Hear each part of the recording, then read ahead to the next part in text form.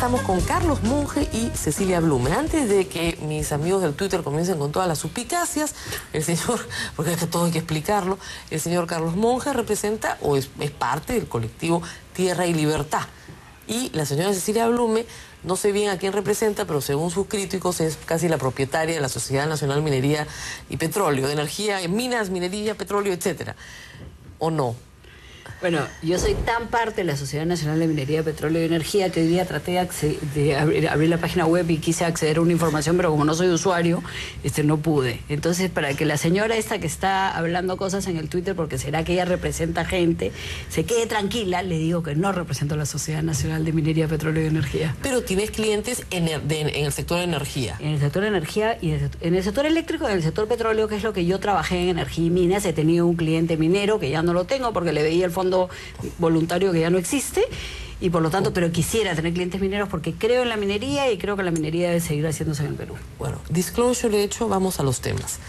Carlos, el problema ambiental y la minería, de todos los eh, manifiestos que se han leído en estos días, parece ser el tema central. Es el tema central, es un problema que no puede resolverse, es un sí o no, es decir, no hay posibilidad, por lo tanto la minería no debe ir puedes tomar los ejemplos de Conga o Espinar. El tema ambiental. Es un tema central, yo no diría que es el tema central, la minería es un problema muy complejo y es un tema central que se manifiesta de distinta manera en distintas partes del país. Por ejemplo, en la Sierra Norte, donde está Conga y después estará Galeno, La Zanja y varios otros, el, problema es que el mineral está disuelto en la tierra y esa tierra es los páramos alpandinos que son los espacios de producción de agua por retención de lluvia o por captación de humedad de la atmósfera. Entonces ahí la minería tiene que ser de tajo abierto y hay un conflicto directo con el proceso de producción de agua. Entonces todo este debate de las lagunas tiene que ver directamente con eso. En otras partes del país, en la sierra centro y sur principalmente, el mineral está en vetas dentro de la roca y puedes buscarlo de otras maneras con tu taladro. Ahí más bien el truco es manejar bien la cancha de relaves y no tirar pues el relave al río, digamos, ¿no? Eh, y tampoco tumbarse la base misma del glaciar, que es en realidad es ahí la fuente de agua, a diferencia en la Sierra Norte, donde la fuente de agua es el páramo altandino. Entonces, es un tema, es un tema que varía, depende de sitio en sitio, y por eso es que los debates son distintos. Por ejemplo, en Conga la discusión es sobre si no solamente el proyecto Conga, sino si ese distrito minero integrado por cuatro o cinco proyectos debe ir o no debe ir en atención a su impacto sobre el páramo altandino y el proceso de formación de agua. En, este, en Espinar, en realidad, la discusión no es principalmente, no es mayoritariamente, siempre hay voces radicales, ultras que no quieren nada, pero no es principalmente que, que se vaya.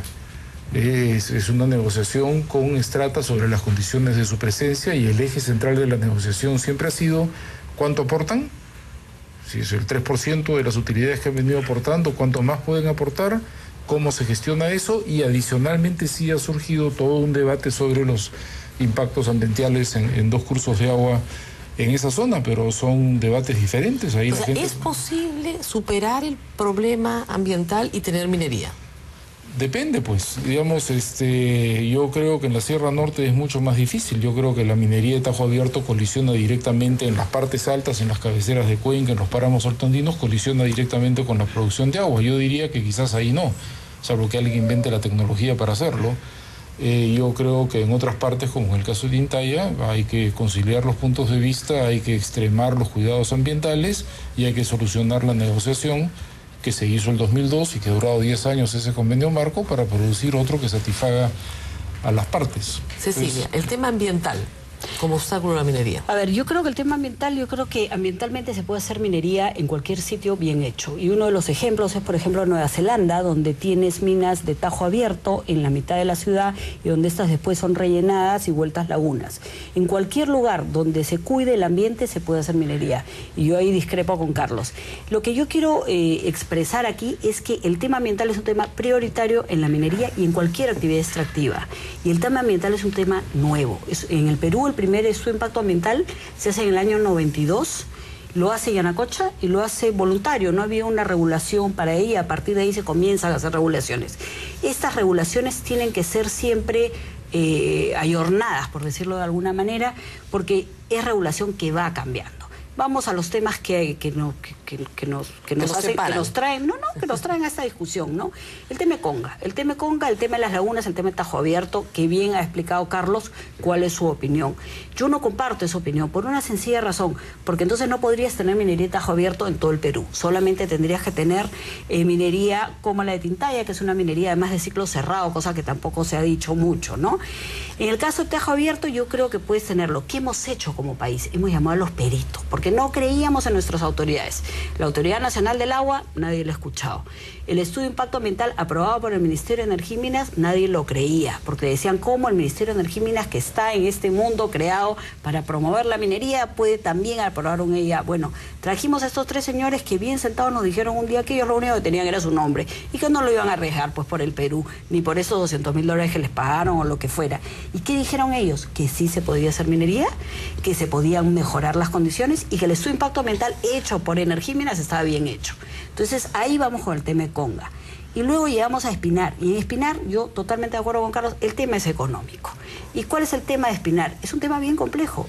Espinar, la mina la toman en el 2005 para quejarse porque en el 2003 BHP Billiton, que era propietario de la mina y no era estrata, decide, conviene como primera mina peruana darles un aporte a las comunidades de Espinar que ascendía al 3% de las utilidades antes de impuestos, a cambio de que tener paz social. Eso fue en el 2002-2003. En el 2005 les toman la mina, los incendian y porque decían que no era que no era que no lo estaban dando efectivamente, que no estaba bien organizado, etcétera, etcétera. Gracias a este aporte que a la fecha suman 200 millones de soles, hay hospital, hay eh, granjas y hay un montón de, postas de salud, hay, hay educación, hay casi 700 proyectos, ¿no? Entonces, ¿cuál es la discusión ahorita? Y yo me he leído todas las plataformas de lucha. Al final, algunas de las últimas te hablan del tema ambiental. Pero las plataformas de lucha son de 3 a 30. Y no te dicen 30, te dicen, ah, este, este aporte tiene que ser mayor. Vamos a ir al tema del dinero en un instante, pero el problema ambiental no es el que más leen ustedes. Yo no debo estar en otra parte del mundo, porque yo lo que más no, El problema ambiental es la excusa que se utiliza y que le utilizan los que no quieren la minería. Y a mí me da mucho gusto que, por ejemplo, hoy día Marco Arana haya dicho, ya pues tranquilamente, como debió decirlo desde el primer día, yo no quiero minería en Cajamarca, no quiero, no, no hay forma, no, Conga no va de ninguna manera que se caiga el señor Valdés, a mí que me importa lo que diga el señor Valdés, no hay minería en Conga. Y acá lo que me preocupa, déjame terminar con esto, es que el señor Marco Arana no es el gobierno, es este un líder de un movimiento, un pequeño movimiento eh, político, pero eso es lo que es, punto, nada más. Entonces yo les diría a la gente que acá en el Perú tenemos que comenzar por cumplir la ley. Y si no cumplimos la ley, esto va a ser un desastre. ¿Es una excusa el tema ambiental? Pues será para algunos y para otros es un tema de convicciones y es un tema también de ciencia. Entonces no puedes descalificar a todo ambientalista como una suerte de farsante que está utilizando lo verde para contrabandear otros intereses. Eso me parece absolutamente en, injusto. 12 monitoreos durante 10 años dijeron que la mina no tenía ninguna relación con algún problema de contaminación. Y hay un debate, hay un informe de la vicaría que es duro y luego hay dos informes diferentes. No, el informe de Sensopas no tiene nada que ver, yo lo he leído. lo que dice... Sí, el segundo, el que habla de metales pesados, se refiere que existe en una pequeña proporción de habitantes metales pesados en toda la provincia de Espinar, pero que las conclusiones dicen que no tienen la menor idea de por qué. Es que hay que hacer una investigación de por qué, pero no culpa a la mina. Entonces, regresamos al mismo tema. ¿Es una excusa o no es una excusa para agitar y provocar que la gente vaya a incendiar? El problema principal es la renegociación del convenio marco. El convenio marco se negoció el año 2002, pero fue promovido desde años antes para evitar un estallido social porque la herencia de mala relación con las comunidades que había dejado la empresa estatal, Tintaya, que era un desastre, ¿no es cierto? ¿Sabes quién sentó las bases del convenio marco para evitar que eso se fuera una confrontación mortal el año 2002? Óscar Moyohuanca en su primer periodo como alcalde. Fue el que condujo y sentó las bases de esa negociación. lo que te quiero decir es que son personajes que tienen años metidos ahí y su actitud no ha sido ni que se vaya a la mina de una cuestión confrontacional. Si no fuera por gente como él, hubiera habido una conflagración el año 2002. Ahora, ¿hay, ¿la gente tiene preocupaciones ambientales? Sí. Este, el, informe dice no hay, no hay prueba de que sea la mina, la gente sigue con producciones ambientales, hay que atenderlas. Yo no creo que el problema principal, creo yo, que el problema principal en Tintaya sea un tema ambiental, es un problema de renegociación de las condiciones Vamos al tema del dinero. ¿no? no solamente en el caso de Strata, que es una negociación entre dos partes, en general, la crítica es que la minería no aporta al desarrollo en el Perú. Eso lo he leído en varios manifiestos también, no tiene un aporte esencial no redistribuye riqueza, ¿no? El modelo neoliberal solamente genera mayor pobreza y mayores eh, diferencias, etcétera. ¿Eso es cierto? ¿Tengo una mala lectura? ¿Me estoy equivocando? ¿Cómo es el tema de la redistribución y la minería? La minería hoy día genera más del, constituye más del 60% de la canasta exportadora y el oro es el principal producto de exportación es como sector probablemente el principal aportante tributario, depende de cómo mides, si mides todos los tributos es veintitantos, si mides el impuesto a la renta de las empresas suma casi 35, debe estar apuntando hacia 40 este ritmo. Y como es normal, porque así es, en PIB es un poco menos, digamos, no suena el número tan espectacular, será 12 o 15%, y en generación de empleo directo es muy poquito, pues es la característica de la minería, y nadie sabe en realidad cuánto empleo indirecto generan porque no hay una medición precisa de cuáles son las cadenas de valor de cada empresa minera. Entonces es un sector que se ha vuelto absolutamente fundamental. En el Perú y en América Latina además eh, se habla de una tendencia hacia una reprimarización exportadora de las economías en general, incluyendo sorprendentemente la de Brasil, eh, porque como hay un ciclo expansivo de demanda y de precios, ¿no es cierto? Todo el mundo está promoviendo esas actividades. Entonces no hay ninguna duda sobre su peso. Más bien, lo que hay una discusión es sobre si ese peso es conveniente. Esa es la pregunta. Esa es la pregunta. Y yo creo que es inconveniente. Hay una literatura internacional sobre enfermedad holandesa, hay una literatura internacional sobre maldición del recurso, hay una literatura internacional que dice que la tendencia estadística en países, claro, que no son países como Inglaterra o como Holanda, que son otra cosa, digamos, son países más bien como los nuestros, hay una correlación entre este excesivo peso de la minería en la economía y un conjunto de problemas macroeconómicos, aparte de temas de conflictividad social y problemas de corrupción y de índole institucional, que es el paquete de la teoría de la maldición de los recursos. ¿Es fundamental por la que ustedes se oponen a la minería? Nosotros no nos oponemos a la minería. Nosotros creemos que no debe haber tanta dependencia respecto de la minería, uno, y por eso hablamos de un proceso de transición hacia una economía más diversificada, donde se encuentre otra matriz de generación de renta pública, de divisas y de empleo. O sea, esta no es una discusión light ni es una caricatura, es una discusión seria sobre cómo hacer una transición estratégica que tampoco se hace por decreto de un día para el otro. Y creemos que tiene que haber otro marco institucional para gestionar la minería. Hoy día se sigue con el de los 90. El Ministerio de Energía y Minas hace todo y no tiene ningún papel el Ministerio del Ambiente, que no aprueba los estudios de impacto ambiental, ni siquiera los conoce y no tienen ningún papel los gobiernos regionales. Entonces se sigue haciendo una gestión de los 90 cuando no había autoridad ambiental ni había descentralización. Ese arreglo institucional tiene que cambiar. Bueno, agreguemos el tema del al dinero, el tema del arreglo institucional, Cecilia. Bueno, yo no estoy de acuerdo con Carlos por varias razones. Em, el problema realmente es que estos recursos, producto de la minería, que como bien lo ha explicado él, es la gallina de los huevos de oro, y que por lo tanto eh, no veo por qué no tengas que seguir con tu gallina de los huevos de oro, estoy de acuerdo con que trates de, de, variar y de tener otros ingresos. El problema es por qué este dinero no se usa para mejorar la calidad de vida de los ciudadanos que están en las zonas de influencia de la mina. ¿Por qué este dinero le sirve la mitad como impuesto a la renta al Tesoro Público con lo que gasta para todos y la otra mitad va al Banco de la Nación y por lo tanto le sirve al Banco de la Nación, punto. Entonces yo realmente creo que acá... No es que va al Banco de la Nación, va a las cuentas de los gobiernos regionales y que están sentadas en el Banco de la Nación, porque se prohibió que fueran a todos los bancos porque se descubrió que lo que estaban haciendo la gente que, las autoridades que no la gastaban era negocio bancario, ¿ok? Por eso ahora van al Banco de la Nación, por lo tanto solo le sirven al Banco de la Nación. Entonces, ahí lo que nosotros tenemos que ver es, ¿cuál es esta mitad que falta? Lo que nos falta y le falta, y eso es un tema de gobierno central, de gobiernos regionales, de gobiernos distritales, de, universidades que también reciben canon, también ¿no? Y acá yo tengo que, decir que en el caso de Espinar y en el caso de este arreglo con la minera Tintaya, Fuera del canon pagan este 3% que ahora quieren subirlo a 30. Y fuera de esto pagas aporte voluntario, has pagado 5 años de aporte voluntario. Y fuera de esto ahora tienes un impuesto a las sobreganancias, que también es un marco que sí ha cambiado. Por eso yo no estoy de acuerdo con Carlos, ¿no? Y la transición estratégica, la transición estratégica no se va a dar de la noche a la mañana y mientras tú seas, y como bien ha dicho Carlos, un país productor de minerales, de metales y sigan los precios como están, vas a seguir sacando oro. Lo que hay que hacer es que este dinero sirva para que la gente que vive en las zonas mineras la vida le cambie, pero no solamente en las zonas mineras, es en las zonas petroleras, es en las zonas de forestales, en todos los lugares donde hay canon.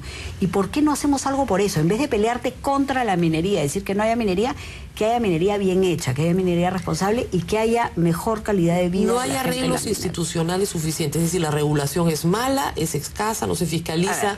A ver, a ver el Ministerio de Energía y Minas es un ministerio eminentemente técnico al que yo he tenido la suerte de trabajar más de seis años y que conozco muy bien. Esto ha estado tan demostrado que estos tres peritos que han traído para ver el tema ambiental de Energía y Minas no han podido decir una coma sobre el estudio de impacto ambiental de Conga, estaba bien hecho. Obviamente siempre puedes decir mejoralo por acá o mejoralo por allá. Que los gobiernos regionales no tienen nada que ver falso, falsísimo. Tan es así, tienen que ver con pequeña minería.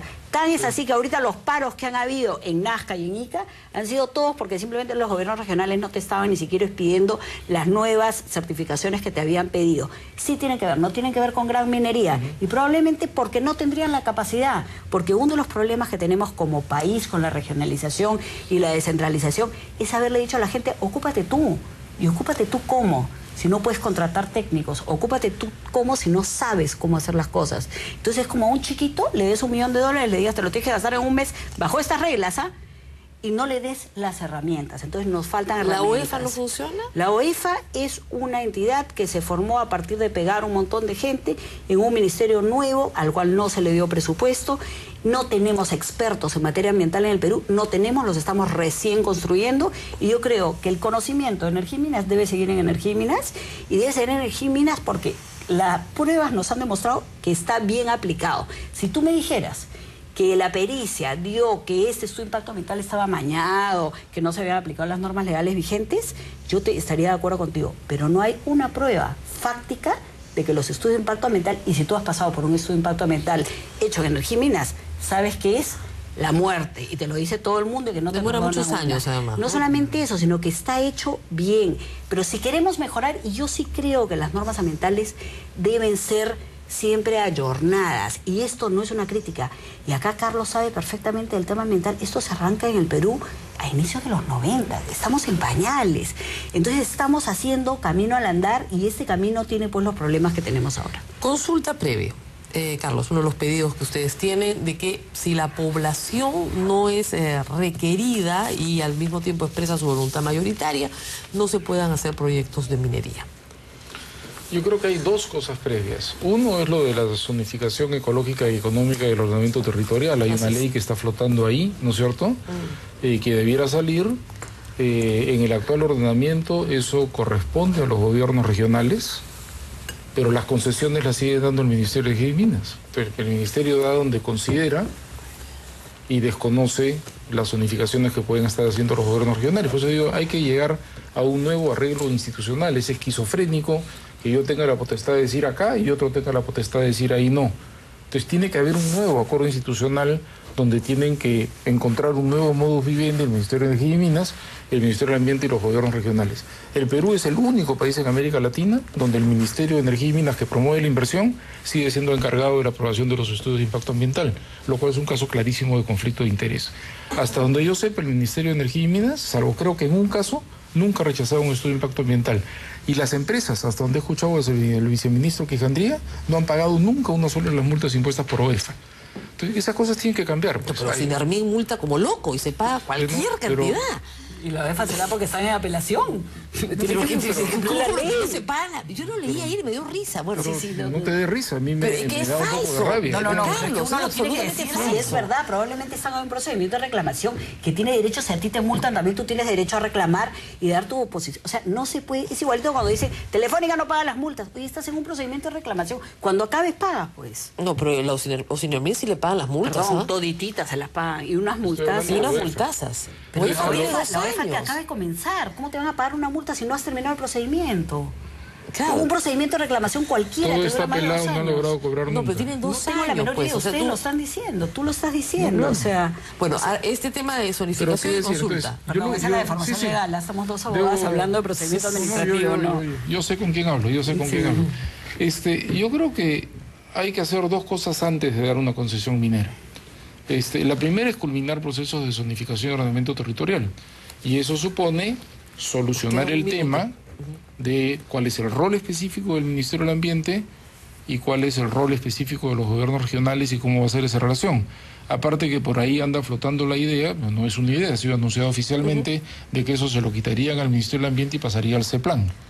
Va a ver si ahí hay mejores capacidades que en el Ministerio del Sobre Ambiente. este tema, nos queda un minuto, Cecilia, nos queda Bueno, nada. yo sí creo que hay acá una divergencia entre quién otorga las concesiones, que es el gobierno central, y los gobiernos regionales legalmente hoy no tienen competencia. Entonces habrá que ver la quién tiene la zonificación y ordenación ter- territorial. Yo se la dejaría al gobierno central.